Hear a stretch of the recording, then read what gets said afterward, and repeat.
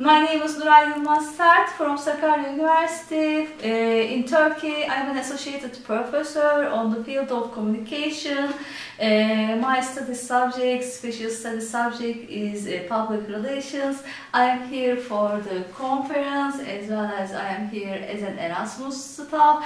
Uh, I done my presentation uh, and there was really very good feedbacks. Uh, I improved myself. Uh, there is lots of things, lots of subjects.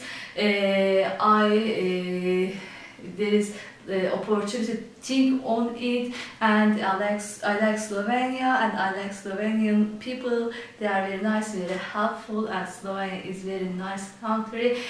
Uh, uh, I, I wish you you will have uh, an opportunity to come here and attend this conference because it's really uh, very professional and uh, people from other countries, different countries uh, come here to attend that conference and it's a good opportunity to share your knowledge.